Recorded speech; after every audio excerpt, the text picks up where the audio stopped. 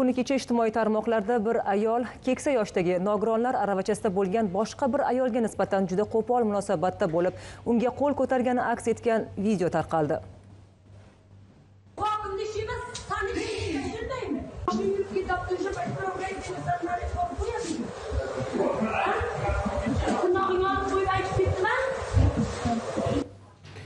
Ma'lum bo'lishicha, ushbu voqea Qashqadaryo viloyatida sodir bo'lgan. Eng achinarlisi, ayol begona inson emas, balki o'z onasiga nisbatan ana shunday qo'pol munosabatda bo'lgan. Voqeaning ayni mana shu jihati ko'pchilik yurtdoshlarimizning g'azabini qo'zg'atdi. muxbirimiz shavkat aminov ushbu holat tafsilotlarini o'rgandi voqea ishtirokchilarini qidirib topdi va ular bilan suhbatlashdi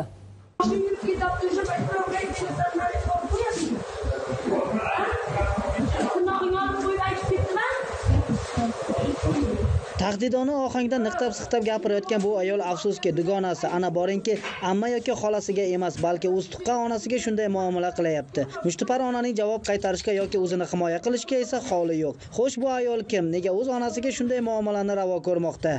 Bu ayol 2018 yilda Mirishkor tumanidan Qarshi shahridagi shu yotoqxonaga ko'chirib kelingan onasi birinchi guruh nogironi bo'lganligi uchun nogironligi bo'lgan ayollar yoki qaramog'ida nogiron farzandi, nogiron boquvchisi bo'lgan mm, ayollar uchun ancha qurilgan maxsus yotoqxona edi. Tan olish kerakki mazkur video xabar qalbida insoniylik tuyg'usi bo'lgan har qanday kishini g'azab va nafratini oshirdi katta muhokamalarni keltirib chiqardi. Biz ham video xabar ortidan oila istiqomat qilib kelayotgan qarshi shahrining shayxali mahallasidagi 18 yotoqxonada bo'ldik. Bizni qiziqtirgan jihati videodagi holat tasodifmidi yoki onaxon doim ana shunday tazyiq ostida yashayaptimi?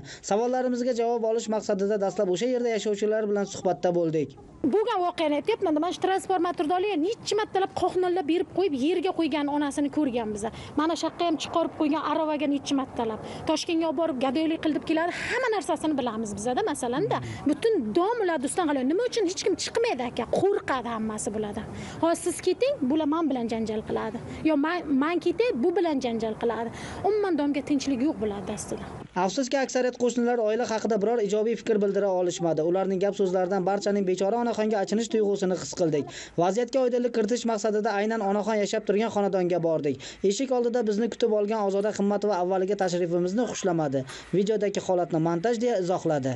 Bu yolg'on uyushtirilgan, menga nisbatan qilingan tuhmat bu. Bo'ldi. oldida onangizga nimaga pul so'ramading deb Yo, pul so'ramading emas, kechirib qo'yasiz. U yana shu yerdan ham yolg'onligi, tuhmatligi, o'sha zamon eshitilgan deb eshitilgan bo'lsa, o'shani montaj qilgan. Hozir hamma narsa rivoj rivojlanib bo'ldi. Hamma narsa qilyapti. Hozir nimalar qilmayapti texnika rivojlanib. Mana shu onam 3 ta nogironim bor. Ik- Bitta birinchi guruh nogiron onam, ikkinchi guruh nogiron farzandim, i bolalikdan nogiron, boquvchim vafot etgan. nogironlarni parvarishlayotganini bot bot ta'kidlayotgan bu ayolning so'zlaridan vaziyatga oydinlik kiritish o'rniga biz ham biroz chalg'iy boshladik. Shundan so'ng aynan shu oilaga qarshi shahar hokimligi tomonidan 2020-2021 yillarda ko'rsatilgan moddiy va ma'naviy ko'maklar hisobiga qiziqdik. Qarshi shahar hokimligi tomonidan men aynan ta'kidlayman aynan hokimlik tomonidan faqat 2020-2021 yillar davomida e, jami 56 million so'mlik pul shaklidagi yordam ko'rsatilgan. Ikki sotixlik yer berilgan edi o'sha eng oxiri o'sha uni talabi endi shahar hokimligidan qaysidir ma'noda so'ray olmay qoldi 56 million pul juda katta pul. Endi kasaba uyushmalari tomonidan o'sha ikki sotixlik yerda imorat qurib berishni talab qilgan eng oxirgi mana shu holati bo'ldi. Muloqot jarayonlarida e, shu nogiron onasiga o'ta mehribon qilib ko'rsatgan men nimaiki so'rayotgan bo'lsam mana shu nogiron bolam uchun onam uchun aslida balki hujjatda haqiqatdan ham qayerdadir nogironligi bordiru bolalarni ham. Lekin tashqi tomondan qaraganingizda e, nogiron deb baho bermaysiz bolalarga ham. Mazkur ma'lumotlardan so'ng vaziyat biroz oydinlashgandek bo'ldi. Aniqroq aytadigan bo'lsak oilaga naqd pul shaklidagi ko'makdan tashqari doimiy ravishda homiylar ko'magi ham berib kelingan. Bora bora bunga o'rganib qolgan qizning talablari ortib bu safar viloyat kasaba uyushmalari qo'mitasiga uy tiklab berishni so'rab murojaat qilgan. Afsuski bu safar ham eski reja asosida ish tutib nogiron onasini yetaklab borgan. O'sha kuni ham onaizorni soatlab eshik oldida qoldirib natija bo'lmagach alam ustida shu yerning o'zida qistovga olgan uni turtkilay boshlagan.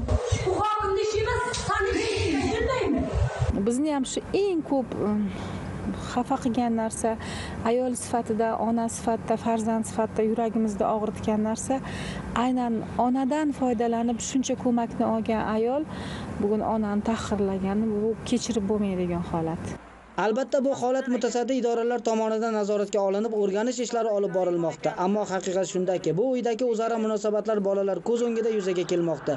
Shunday ekan, qaytar dunyo borligini unutmaslik kerak.